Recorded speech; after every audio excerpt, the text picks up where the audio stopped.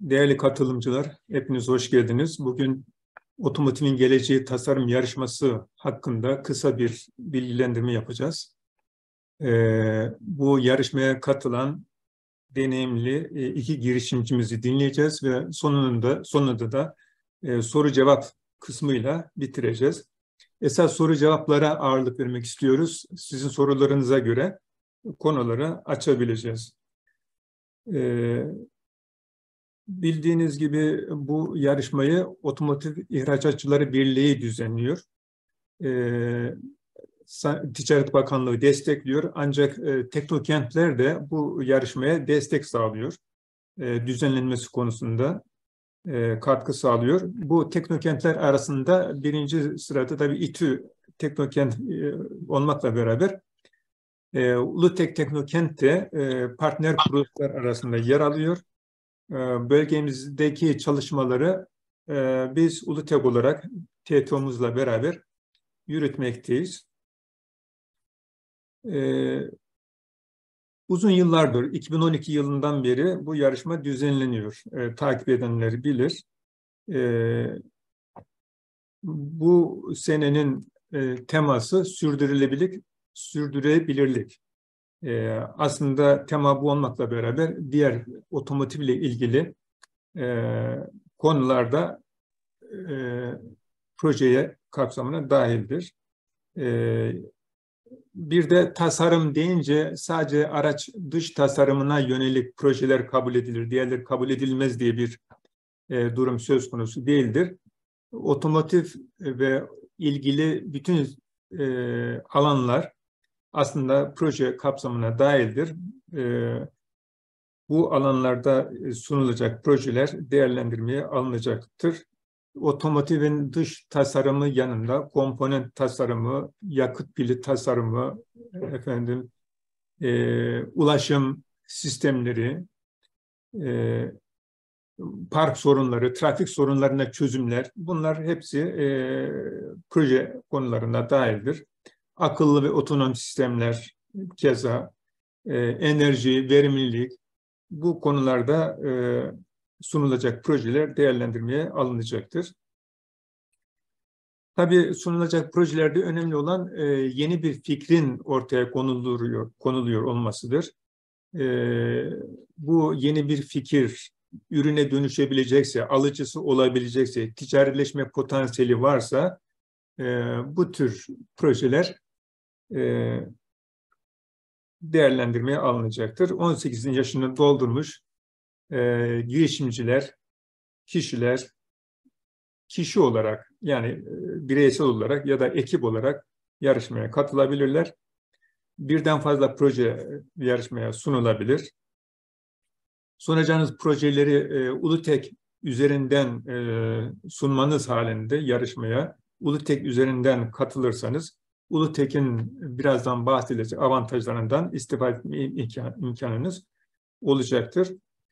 Ee, dediğimiz gibi sorularınıza göre konuları açacağız ancak e, soru cevap kısmına geçmeden önce e, bu yarışmaya daha önce katılmış başarılı e, genç girişimcilerimiz var aramızda.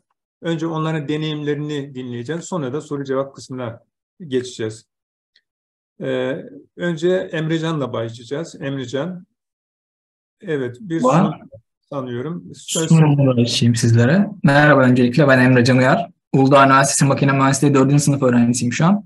Aynı zamanda e, oluşturduğumuz girişimin Exmek Shift'inde kurucu ortaklığını yapıyorum. Bununla birlikte şu an e, uzun dönem stajyer olarak Bosch finans sistemlerinde çalışıyorum.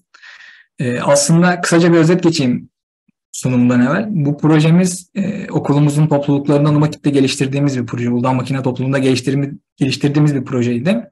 Elektrikli motor sistemleri üzerine geliştirdiğimiz bir projeydi. Ve bu bizim için bir TÜBİTAK projesiydi aslında. Öncelikle 2209 projesiydi ve onun da desteğini aldık. İnşallah yıl içerisinde de TÜBİTAK projesini tamamlayacağız ve aslında X-Mac Shift'in bir prototipi olacak bu. E, bununla birlikte aslında Mertel hocamızın bize e, destek olmasıyla diyelim bu bir girişim olarak değil bir proje olarak e, başlamıştı. Ben onu söylüyorum yani bir girişim olarak değil öncelikle bir proje bazlı başlayan bir e, olaydı. Sonrasında Ulutek üzerinden biz de başvurduk ve e, ilk başta bir ön mülakata diyelim oraya alındık. Sonrasında belirli bir e, zümre bizi seçti ve 20 kişilik bir e, proje bazlı indirildi ve bunun da ilk 10 projesi finalist oldu. Ben de bu projeyi yaklaşık 500 proje arasında 6. tamamladım.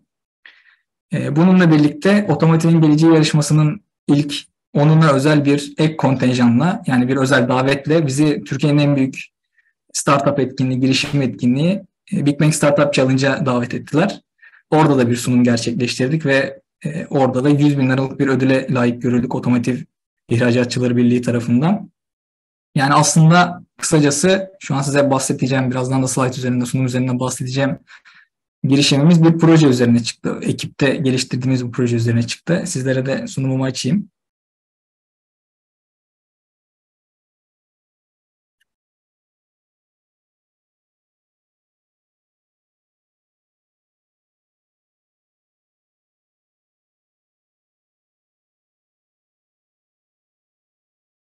Bunun geliyor mu acaba? Evet gözüküyor.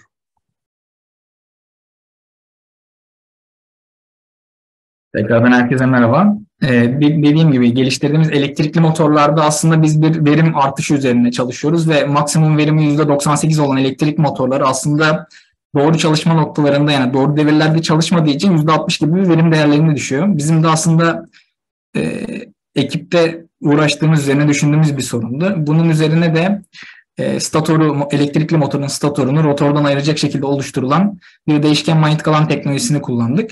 Bu normalde dünya üzerinde radyal motorlar yani herkesin bildiği normal çamaşır makineleri motoru diyebileceğiniz motorlarda çalıştırılan sisteme dünyada var olmayan eksenel elektrikli motorlar üzerine entegre ettik. Eksenel elektrikli motorlar da e, normal şartlarda daha verimli ve e, birçok avantajı var radyal motorlara göre ve geleceğin motorları olarak adlandırılıyor aslında.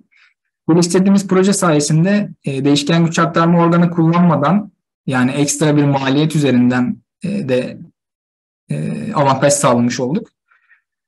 Ekibimizi ben ve arkadaşım Hasan arkadaşım Uludağ Üniversitesi'nde, diğer arkadaşlarımız da farklı üniversitelerde ve çeşitli firmalarda çalışıyorlar aynı zamanda kendileri bu girişim üzerine.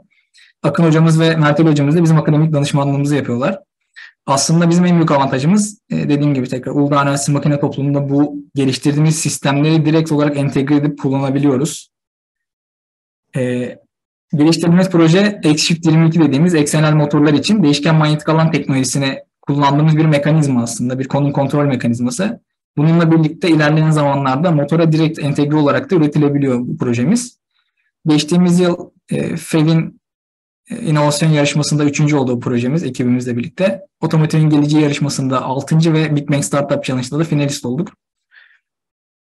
Bununla birlikte geliştirdiğimiz sistem aslında e, otomotiv sektörüne birçok fayda sağlıyor. Ağırlık, maliyet ve hacimde %25, verim ve menzilde ise %10'luk bir artı sağlıyor. Bunun aslında en e, basit açıklayacağımız şekil şu. E, bildiğiniz üzere araçlarda iki tip menzil var. Bir uzun menzil ve bir normal menzil olarak. Tesla'nın en uzun menzilli otomobili Model S'e uyarladığımız zaman bu sistemi 715 kilometre gibi yani yaklaşık 65 kilometre gibi uzun bir yol avantajı sağlıyor bizlere bu değişken manyetik alan teknolojisi. Ve aslında e, kullanım alanları elektrik motorunun olduğu her yerde kullanılabiliyor. Rüzgar türbinleri, mikromobilite çözümleri ve ilerleyen zamanlarda hava taşıtları gibi. E, ve aslında size sunduğum sunum bir otomotivin geleceği sunumu. Çünkü şöyleydi, biz birçok eğitim aldık bunlar üzerine. Yalnızca e, hani evet onay aldık ve gittik şeklinde değildi ve bu örnek bir sunum da olacak sizler için. E, bir maliyet tablosu çıkarttık. Burada da bir elektrikli motor piyasası ve bizim yaptığımız ve yapacağımız çözümleri ürettiğimiz e, girişimimizi açıkladık bu sunumda. Bununla birlikte de bir bölüm modeli belirledik girişimimize. E, dediğim gibi elektrikli motorlara entegre edilebiliyor. Aynı zamanda kompakt sistem halinde bir e, elektrikli motor sistemi de yaratabiliyoruz burada. Bununla birlikte aslında biraz, biz Ocak 2021'de başladık bu projeye, proje olarak, girişim olarak değil. Bununla birlikte patent başvuruları ve TÜBİTAK destek başvurularımızı yaptık. TÜBİTAK desteğimizi aldık ve patent sürecimiz de hala devam ediyor. Ee, bununla birlikte özellikle Big Bang Startup Challenge'dan sonra birçok firmayla, büyük firmayla görüştük ve bu sistemlerini kendilerine entegre etmek istedikleriyle ilgili e, iş görüşmeleri yaptık. İlerleyen zamanlarda da 2026 yılına kadar da bir motor üreticisi olarak devam etme hedefimiz var. Bu şekilde biz devam ediyoruz. E, teşekkürler beni dinlediğiniz için. Tekrar sorularınız varsa e, özellikle bu süreç bazında sorularınızı dinlemek isterim. Peki, teşekkür ediyorum Emircan. Ee, ikinci olarak Mert Ali'yi dinleyelim. Evet Mert Ali. E, merhabalar herkese tekrardan. E, biz e, az önce de Emrecan e, bahsettiği üzere özellikle otomotivin geleceği tarafındaki başvurularımızla e, kendi iş fikirlerimizi hayata dönüştürmüş e, girişimler, örnek girişimlerden bir tanesiyiz. E, ben de kendi girişim olan aslında Oxodes üzerindeki deneyimlediğim bu tecrübeyi aktarmak sizlere ilk e, burada anlatacağım. Tabii burada ağırlıklı olarak ilk aşamada ben e, otomotivin geleceği tasarım yarışması tam nedir, ne amaçlar, örnek projeler nedir ve özellikle kendi deneyimlediğimiz safhada bu proje nasıl başvuru yapılır ve bu projenin neticesinde başvurduktan sonra ne tarz bizler avantajlar e, elde ettik bunları size anlatmak isterim. E, otomotivin e, geleceği tasarım yarışması, e, İrfan Hocam'ın aslında bahsettiği gibi ilk isminden anlaşılacağında e, doğrudan bir araç tasarım yarışmasından ziyade aslında bir girişimcilik yarışması. Tabii ilk yıllarında, 2012 yıllarında e, biraz daha araç üzerindeki komponent yarışması olarak adlandırıldı. Tabii özellikle Türkiye'deki girişimcilik ekosistemi hızlı bir şekilde gelişmesiyle e, Otomotiv İhracatçılar Birliği bu yarışmayı doğrudan otomotiv alanındaki e, startuplara özgü bir yarışmaya e, çevirdi. Bu sebeple aslında ismi size yanıtmasın. E, doğrudan e, bu yarışma bir otomotiv nezdindeki girişimciler için e, önemli yarışmalardan bir tanesi. Çünkü bu yarışma aynı zamanda sizleri Big Bang yarışmasına doğrudan e, götürüyor. E, özellikle bu yarışmaya başvurduktan sonra önelemelere geçip e, finalist olan firmalara aynı zamanda Aralık ayında düzenlenen e, Big Bang yarışmasında da sahne alma fırsatı sizlere sağlıyor otomotiv kategorisinde. E, o sebeple burada aslında e, sizin ilk aşamada aramızda e, belli mevcut girişimde olan kişiler de bulunabilir ya da belli bir girişimcilik yoluna çıkmak isteyen kişiler de bulunabilir. Bu yarışma aslında herkese hitap ediyor. E, çünkü bir startup evresi ekranda görmüş olduğunuz gibi bir e, belli şekilde aşamaları bulunuyor. Bunlar startup öncesi dediğimiz durum. Yani iş fikriniz var, e, henüz firmalaşmamışsınız ve elinizde henüz daha MVP yani prototip haline getireceğiniz bir ürün mevcut değil. Ancak iş fikrinize güveniyorsunuz ve girişimci olmaya karar verdiğiniz safhalardan başlayıp akabindeki şirketleşmiş olanlar ve tabii belirli geliri geçmeden hala startup evresinde kalan firmalarda doğrudan hitap eden bir yarışma. E, bu yarışmanın en önemli özellikleri de özellikle bu aşamalar nezdinde anlatacak olursam e, startup öncesi durumda olanlar yani erken aşamada olan kişiler ve girişimcilik e, neyim yapmak e, isteyen kişiler de doğrudan hitap ediyor bu yarışma.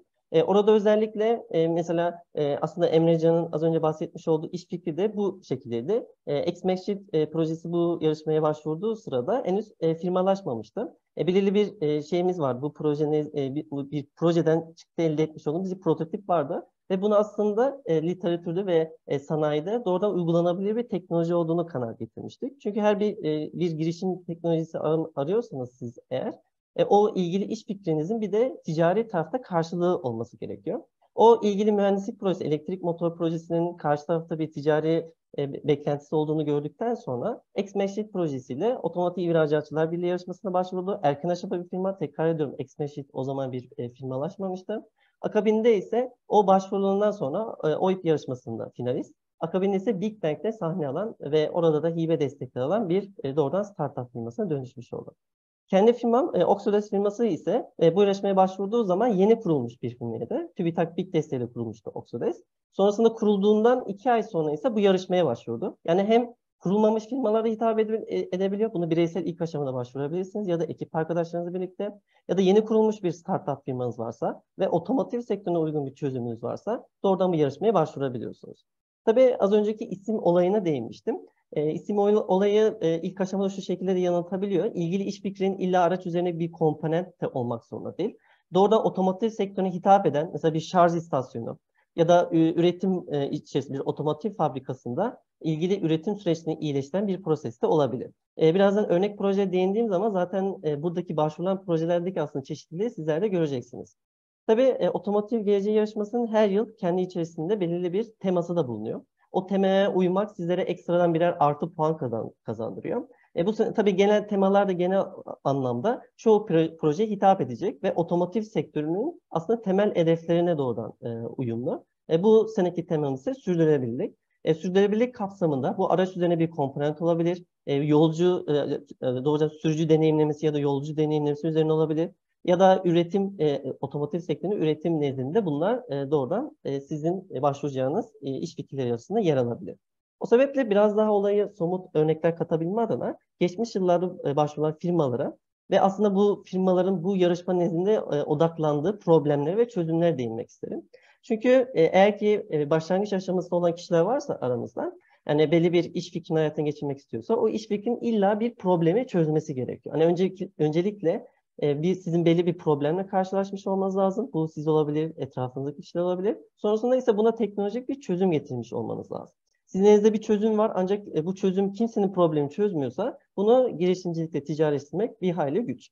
O sebeple örnek projeler üzerine bunu değindiğimiz zaman e, biliyorsunuz e, özellikle e, insansız araçlar içerisinde farklı tipte sensörler bulunuyor. Bu sensörler ağlı içerisinde en kritik sensörlerin bir tanesi ise kamera sistemleri. E, buradaki e, büyütek firmamız ise e, otonom araçların doğrudan aslında yaygınlan, yaygınlaşmasının ciddi avantajları bulunuyor. Tabii yaygınlaşmasının önünde de şu an me, me, belli aşamada teknolojik gelişme belli engeller var. E, onlardan biri işte kamera teknolojisinin belli eksiklikleri. E, burada özellikle Büyütek firması e, bu tarz kamera geliştiren e, ilk yerli firma ve bu alanda halen de e, ilk olarak ilgili e, bir nevi can suyu nitelendirebileceğimiz ilk desteklerini bu yarışma nezdinde aldılar. 2020 yılında bu yarışmada birinci oldular. Akabinde Big Bang'de sahne aldılar, orada yatırım aldılar. Sonrasında şu an ise e, ikinci şubelerini hatta Amerika'da e, da doğrudan e, açmış bulunmaktalar. E, Büyütek firması aslında getirmiş olduğu çözüm özellikle otonom araçlara uygun e, yapay zeka e, tabanlı bir kamera sisteminin geliştirilmesi üzerineydi. E bir diğer yine o sene finalistler arasında baktığımız zaman ise mesela az önceki değinmiş olduğumuz örnek bir araç üzerindeki bir komponent örneğiydi. Sintonia firması ise özellikle e, belirli e, senaryolar içerisinde bunlar mesela sizler e, araçla hareket ederken mobese kamera alabilir ya da e, belli bir kaza e, e, yaşadılar. E, o kaza içerisinde belli fotoğraflama olabilir ya da e, az önce değindiğim gibi otonom araç üzerindeki kameralar e, normalde bir otonom araç üzerine bir kamera varken şehir içerisinde hareket ederken yolda siz e, bir insan olarak yürürken sizin aslında fotoğraflarınızı ve videolarınızı çekiyor.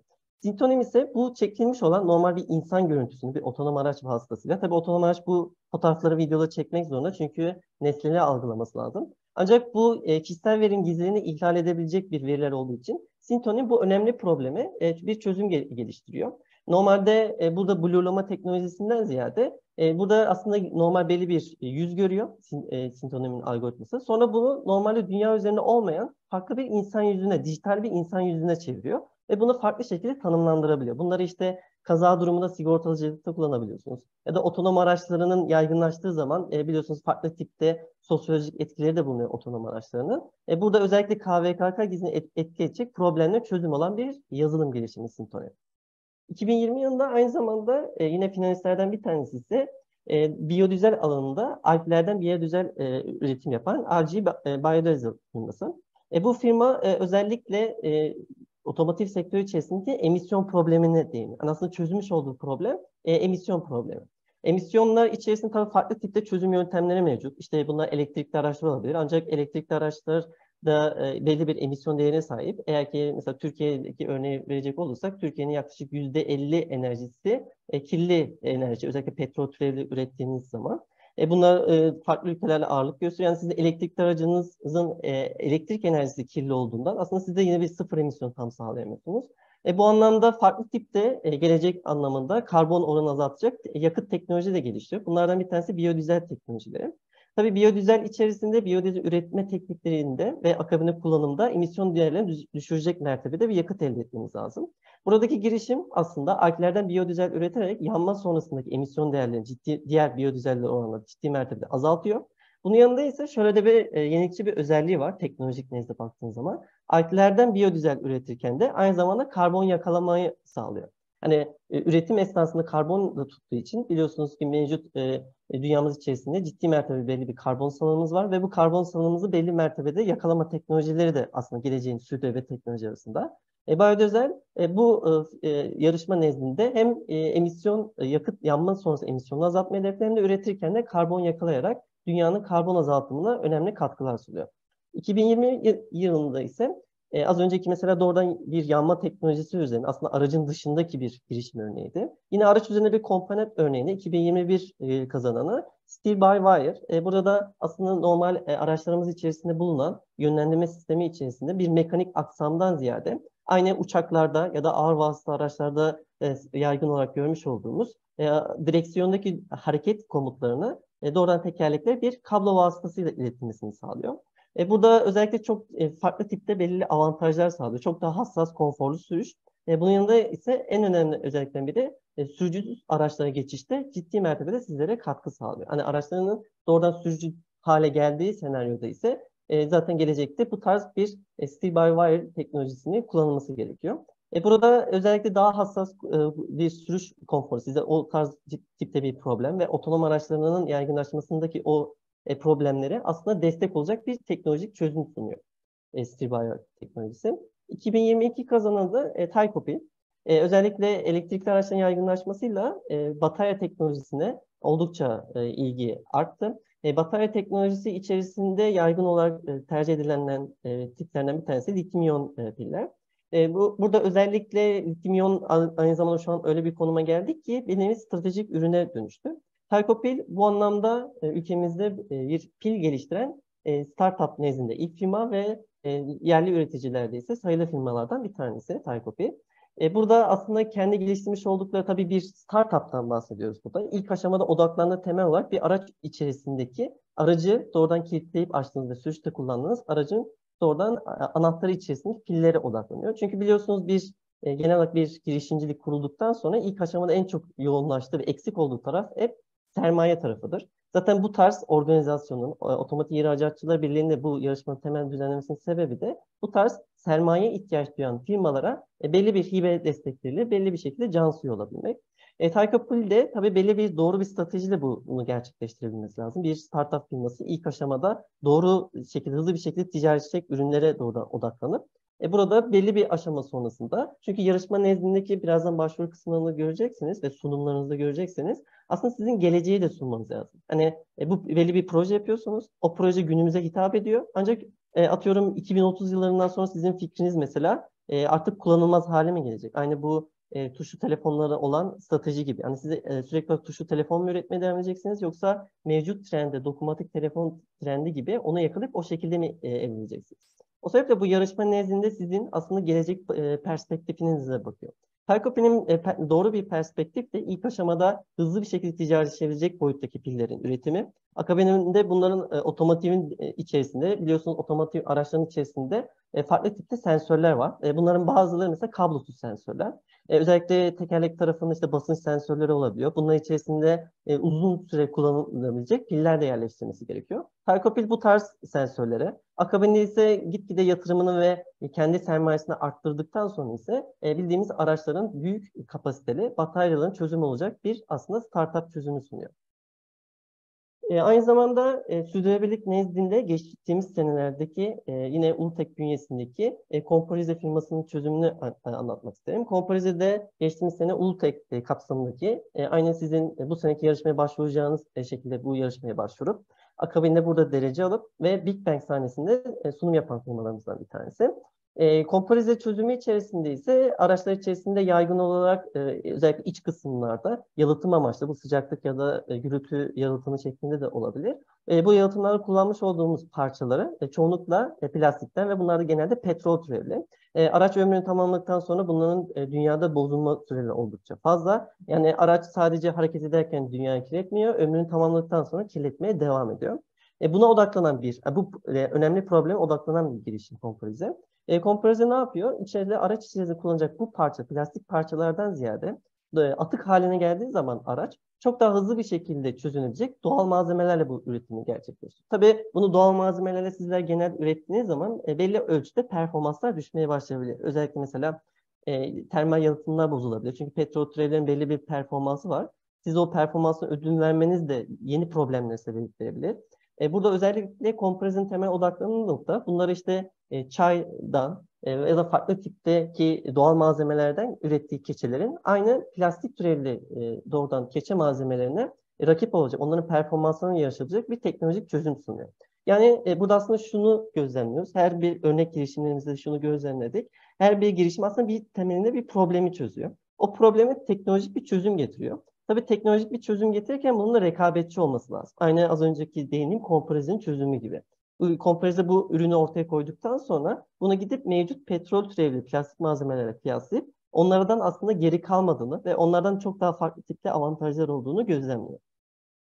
O sebeple sizin mevcut e, sunmuş olduğunuz teknolojik çözüm aynı zamanda rekabet edebilir olmalı ve aynı şekilde ölçeklenebilir olmalı. Yani üretmiş e, burada mesela Komparize kendi çözümünden sonra çok da araç üretim maliyeti çok ciddi mertebe artacak bir çözüm sunması bunu ticari karşılığını görememesine sebep edecek. E, özellikle Komparize bu teknolojisini geliştirirken aynı zamanda bunun ölçeklenebilir uygun maliyetli geliştirip olmasına doğrudan dikkat ediyor.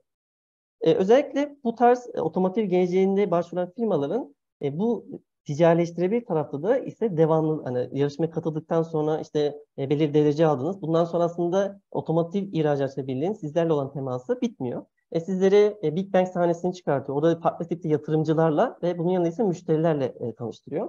E, geçtiğimiz yıl mesela 2022 finalistleri e, hem e, yarışmada sunum yaparken jüriler zaten tamamen otomotiv sektöründen e, doğrudan oranın ARGE müdürleri, oranın yönetim kurulundaki kişilerden oluşmakta. E, bunlar da aslında sizin ilk aşamada birer potansiyel müşterileriniz.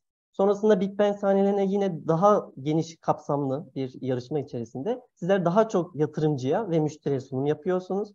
Sonrasında ise otomotiv ihracatları mesela geçtiğimiz 2022 yılındaki kazananlara geçtiğimiz Mayıs ayında e, doğrudan yine İstanbul'da kendi bünyesinde doğrudan startup müşteri tanışma etkinlikleri düzenledi.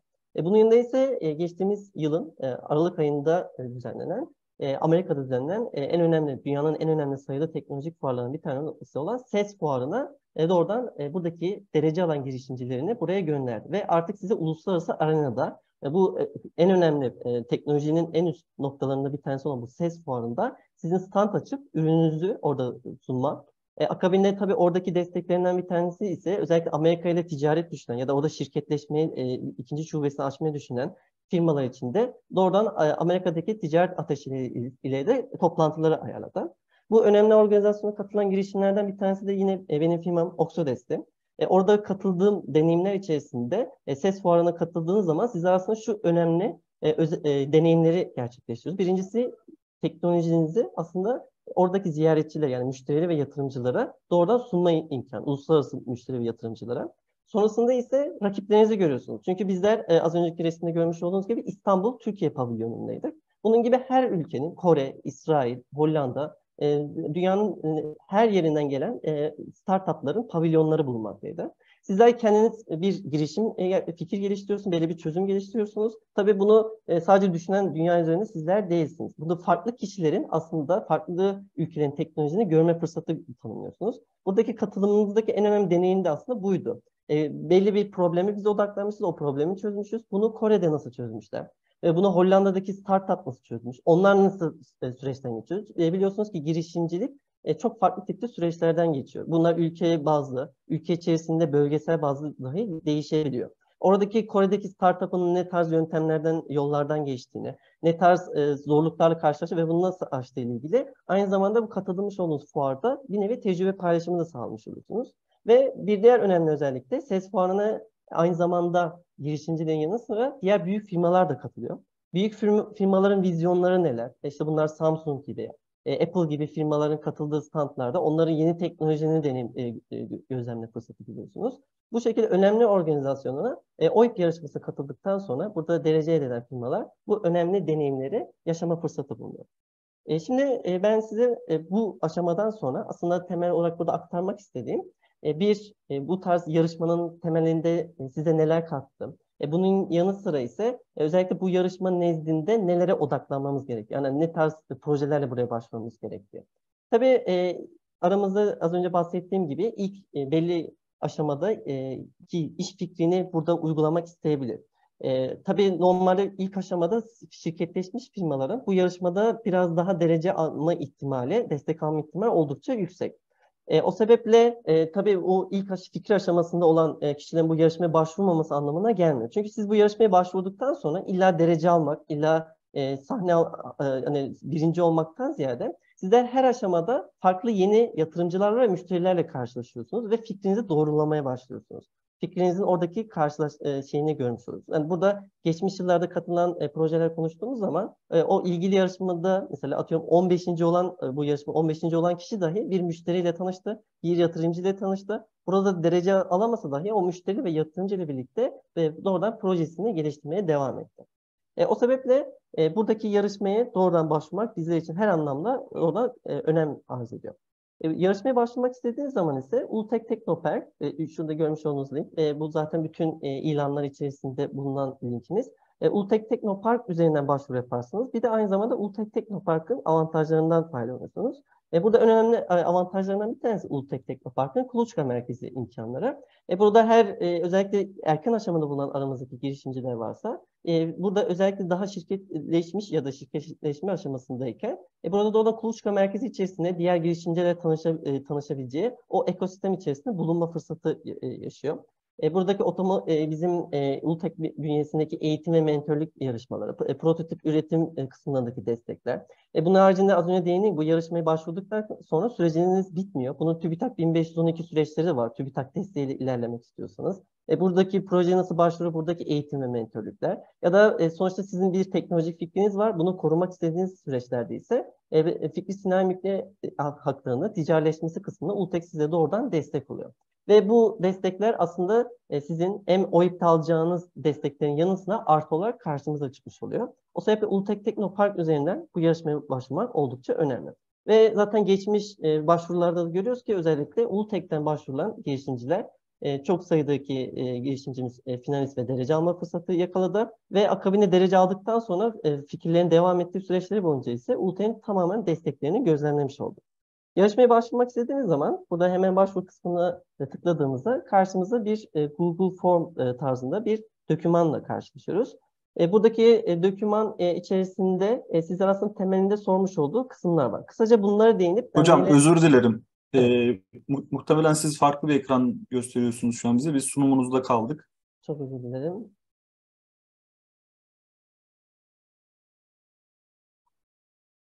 E, tekrar değinmek gerekirse ultektek.com.tr slash otomotivin geleceği adresinden e, sizler bu alt kısımda e, Ultek'in doğrudan faydalı, az önce değinmiş olduğum önemli faydalarını gözlemleyip tekrardan e, görebilirsiniz. Sonrasında ise bu yarışmaya başvurmak istediğiniz zaman da e, burada hemen başvuru kısmına tıklayıp e, burada karşınıza çıkan e, form üzerinde aslında size doğrudan bu ilgili iş fikrinizde e, karşı taraf değerlendirecek jürinin önüne çıkacak aslında sorularla karşılaşıyoruz. Bu sorular içerisinde sizlerin mesela ilk önemli olan kısım mesela e, girişiminiz ya da projenizin ismi. Burada özellikle sizin iş fikrinizi doğrudan e, anlatabilecek e, tarzda bir e, şey isim bulmak e, ilk aşamada çünkü e, düşünün siz ilk defa iş e, buradaki iş fikrinizi karşı tarafa sunuyorsunuz. O ilk e, okuyan kişi sizin ilk aşamada girişiminizin ya da projenizin ismini okuyor. Orada e, ismini okuduktan sonra ise kafasında e, kabaca belli bir olguyu karşılaşması gerekiyor. Sonrasında ise burada sizden yine çok basitçe e, buradaki girişinizi bir cümleyle. Zaten girişimcinin en önemli özelliklerinden bir tanesi de budur. Siz iş fikrinizi ne kadar kısa sürede güzel bir şekilde anlatabiliyorsanız o kadar e, o ilgili girişimcilik yolunda ilerlemeniz yani yatırımcılığa ulaşmanız, onlarla anlaşabilmeniz o nezle kolay hale geliyor.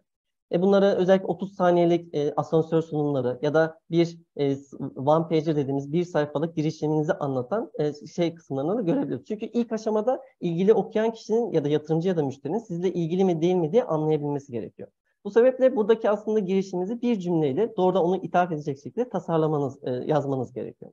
Sonrasında ise sizden detayı. Hani burada mesela yatırımcı gözüyle olaya bakabilirsiniz. İlk isminizi okudu, sonrasında bir cümlelik tanıtımınızı okudu sizin e, projenizle ilgili olup olmadığını ya da projenizin gerçekten dikkat çekici olup olmadığını ilk bu aşamada karar verin. O yüzden buradaki bir cümlede yazdığınız veya da projenin ismi bir hayli önemli. Sonrasında ise ilgi duyan kişi bu sefer detayını merak edecektir. E burada artık siz e, detay kısmında ise aslında şunu anlatmanız gerekiyor. Siz mesela ne tarzda bir problemi çözüyorsunuz ve çözümünüz nedir? Ve bu çözümden nasıl bir ticari beklenti elde ediyorsunuz? Yani aslında e, bir nevi olayın e, problem, çözüm ve aslında ölçeklenebilirlik tarafını anlatmanız gerekiyor. E, oradaki kişiyi gerçekten e, ilk mesela burada yazmış olduğunuz problemi okuduktan sonra o kişi evet ben de bu problemi gözlemledim hissedebilmeli. O yüzden problem tanımınız da oldukça önemli. Sonra çözüm e, sunduğunuz zaman oradaki onu okuyan kişi mesela yetkili olabilir. Mesela yazılımla bir e, çözüm sundunuz. Bu dokümanı e, uzman yazılım mühendisi okuduktan sonra evet bu çözüm mantıklı diyebilir. Sonrasında ise bunu ticari yönden değerlendiren bir kişi. Sonrasında bunu ölçeklenebilir, ticarileşebilir bir proje olduğunu anlayabilmek için sizin ticarileşebilir tarafta yazdıklarınızı da e, doğrudan onaylaması gerekiyor. Sonrasında ise e, burada farklı temel e, sorularımız da bulunuyor. E, burada araç e, sizi daha çok kategorize edebilmek adına e, burada sizin iş ilgili iş fikrinize uygun en önemli bir e, alanı seçiyorsunuz. E, burada az önce değindiğim gibi e, otomotiv genç yarışması başvurabilmek için fikir aşamasından satış yapmış hatta ihracat yapan firma kıstasına kadar başvurular yapabiliyorsunuz. E, aramızda fikir aşaması olan kişiler de bu doğru, doğrudan yapabilir. Ya da belli bir şirketi var e, ve otomotiv e, sektörü açısından yeni bir fikre ve bunun e, o, o ip tarafı çünkü e, firmalaşmış e, fi, e, yani şirketler nezdinde ise şöyle avantajı var bu yarışmanın. Size ekstradan bir tanıtım. Çünkü doğrudan müşterilere ve yatırımcılara ulaşıyorsunuz. O nezle size ekstradan yani derece almasanız dahi e, size doğrudan bir e, müşteri tanışma e, potansiyeli yaratmış bulunuyor. Şirketleşip şirketleşmemizi bu da soruyor. Dediğimiz gibi bunlar ilk aşamada çok da fark etmiyor. E, tabii e, buradaki destek e, safhasında ise sizin aslında ilgili iş fikrinizin belli ölçüde doğrulanmış olmasını bekliyor. O sebeple aslında az önce dediğim gibi şirketleşmiş olan ya da belli bir MVP'sini üretmiş firmalar biraz daha avantajlı hale geliyor ilk aşamada. Sonrasında ise size burada e, her aşamada hani e, buradaki ilgili iş fikrinizde şu ana kadar neler yaptıklarınızdan bahsediyor. E, çünkü siz e, ortaya sunduğunuz çözümü hiç daha e, herhangi bir e, gelişim kaydetmediyseniz de orada tabii ilk okuyan kişi, değerlenen kişi tarafında e, burada belli bir e, şey sebebiyet e, verebilir. Yani buradaki ilgili proje e, güzel ancak henüz değerlen e, denet, e, burada özellikle derece almak için e, uğraşan kişiler için bu e, oldukça önemli. O yüzden burada bütün bu ilgili iş fikri için neler yaptığınızı, e, buranın e, problemini ne tarzda denetlediğinizden bahsetmeniz gerekiyor. Ve müşteri hedef kitlesi. Bu da oldukça önemli. Çünkü siz bir problemi ve o problemi yaşayan müşteri grubunu bilmeniz gerekiyor. Ve o müşteri grubuna ulaştınız mı? O müşteri grubuna deyip de e, bizim e, şu şekilde bir e, e, e şeyimiz var, iş fikrimiz var. Sizin de şu tarz bir probleminiz var. E, bunun da işte ticaretçi tarafı bu şekilde. Siz bunu mesela satın almayı düşünebilir, düşünüyor musunuz? Bu şekilde o ilgili müşteri grubuna önceden ulaşıp e, onlarla yapmış olduğunuz e, görüşmeleri bu kısma aktarabilirsiniz. Ya da potansiyelde e, ulaşacağınız müşterileri de belirleyebilirsiniz. Ve tabii önemli olan e, buradaki kısım yani sizin çözümünüzün mükemmelliğinden yanı sıra o çözümün ticaretleşmesi de oldukça önemli. Çünkü siz bu ilgili iş fikrinden e, ticari getiri elde edemiyorsunuz. O iş fikri aslında batmaya meyilli olacaktır ve aslında girişimcilik nezdinde çok önemli bir ayağı, hatta en önemli ayağı kırılmış olacaktır. O sebeple siz burada bu iş fikrini nasıl ticaretleştireceğinizden bahsediyorsunuz. Yani bunu kiralama modeli mi satacaksınız, doğrudan satış mı yapacaksınız, son kullanıcıya mı satacağız yoksa e, hani B2C kavramına bir tüketiciye mi satacağız yoksa B2B yani bir e, firmaya mı satışı gerçekleştireceğiz ve bu satışları nasıl yöneteceğinize buradan bahsetmeniz gerekiyor. E, benzer ve rakip ürünlerden kasıt ise yani bu ilgili aslında problem bir tek dünyada siz yaşamamışsınızdır. İlla bunu çözüm düşünen, çözüm geliştiren bir firma çözüm illa mevcuttur.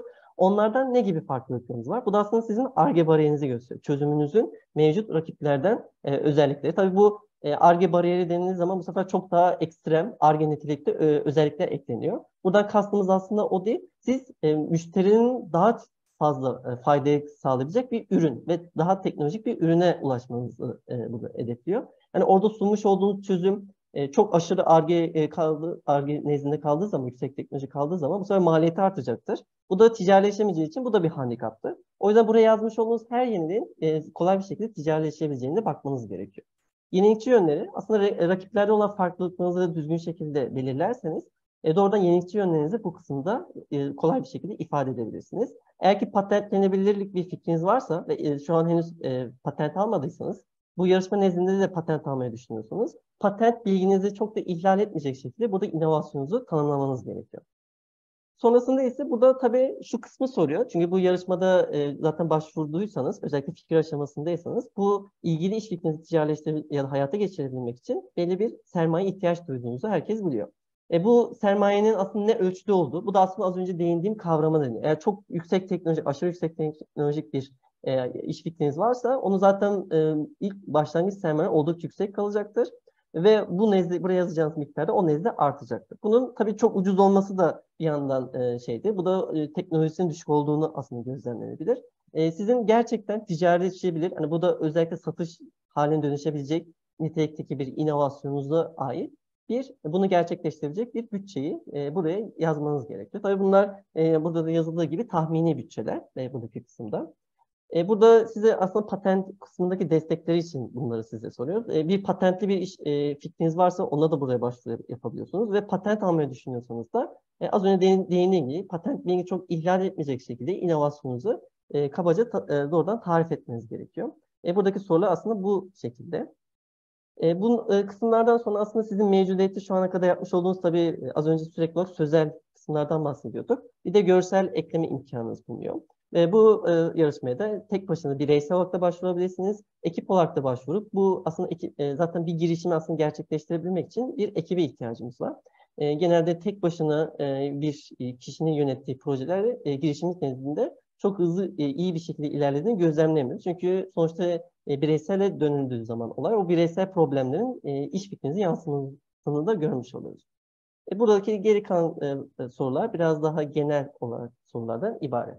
E, en nihayetinde aslında sizin bu formu doldururken en sonu formu doldurup gönderme okuduğunuzda problemi doğru tanımladınız mı? Çözümünüzü doğru tanımladınız mı? Ve karşı tarafı ticarileştirebilirlik, ölçeklenebilirlik konusunda ikna edebildiniz mi? E, genel olarak benim bahsedeceklerim de e, bu şekildeydi. E, dilerseniz bu kısımdan sonra soru cevaplarınızı da sizlere tecrübelerimizi aktarmak isteriz. Teşekkür ediyorum bu güzel sunumlar için arkadaşlar. Sağ olun. Şimdi e, soru cevap kısmındayız e, değerli katılımcılar. Sorularınızı e, mikrofonunuzu açarak ya da e, chatten yazarak bize ulaştırabilirsiniz.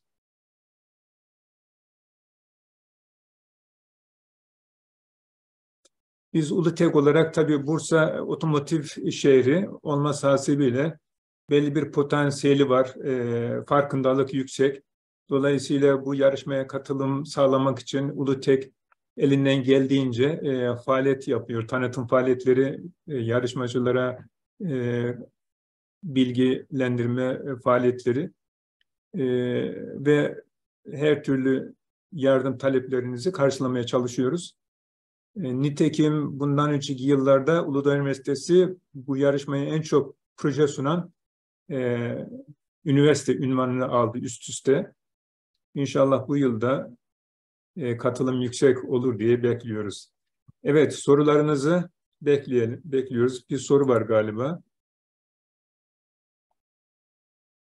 Yok, e, evet.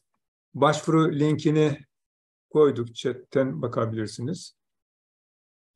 Evet arkadaşlar, sorusu olan yok mu?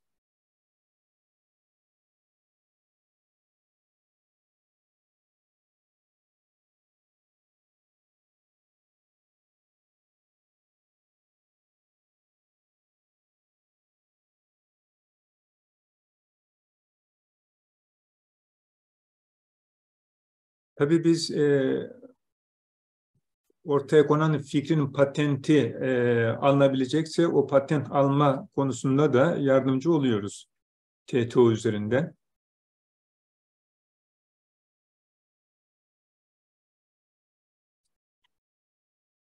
Mustafa bu arada e, eklemek istediğinin bir şey var mı? Hocam sunumlar çok güzel e, oldu, çok kapsamlı oldu. Muhtemelen o yüzden soruların, gelebilecek soruların tamamında aslında yanıtlar nitelikte oldu. Benim de ekleyecek ekstra bir şeyim yok. Başvuruları bekliyoruz hocam. Yani biz Bursa genelinde tanıtım yapıyoruz ama e, bu tanıtımları bir Türkiye genelinde de yapıyoruz. Hatta değişik e, şehirlerden bizim aracılığımızla e, yarışmaya katılanlar oluyor. Doğu, Güneydoğu Anadolu dahil hatta hocam geçtiğimiz yıl e, yurt dışından bile başvuru almıştık. Evet, e, evet. Biz yani, ulaşabildiğimiz tüm kanallardan e, ekosistemin faydalanması adına bütün e, çaba harcıyoruz.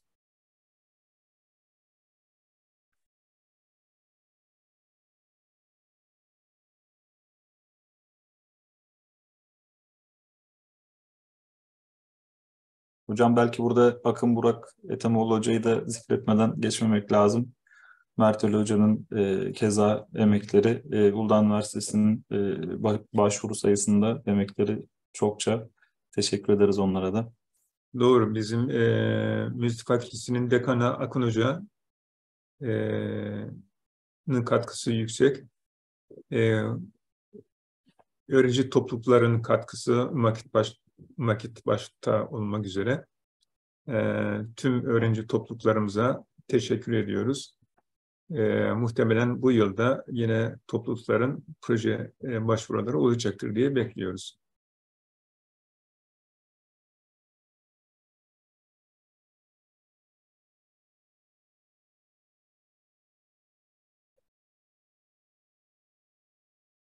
Osman Nuri Bey teşekkür ediyor. Açıklayıcı sunum oldu diyor. Evet. Biz teşekkür ediyoruz katılımlarınız için. Evet, soru e, gözükmüyor. Ben tekrar e, sunum yapan e, başarılı girişimcilerimize teşekkür ediyorum sunumlar için. Sunum kayda atılacak mı? E, Mustafa, bu katılanlara sunumu gönderebiliriz değil mi? Hocam paylaşırsa e, Mert Ali Hocam, Emrecan Bey gönderebiliriz. Uygun görürlerse. E, kayıt için benim için bir sakınca yok kaydın paylaşılmasına. Benim için de herhangi bir problem yok paylaşabilirsiniz. Yani Tamam, o zaman katılan arkadaşlara e, maillerine bu sunumları gönderelim. PDF'lerini.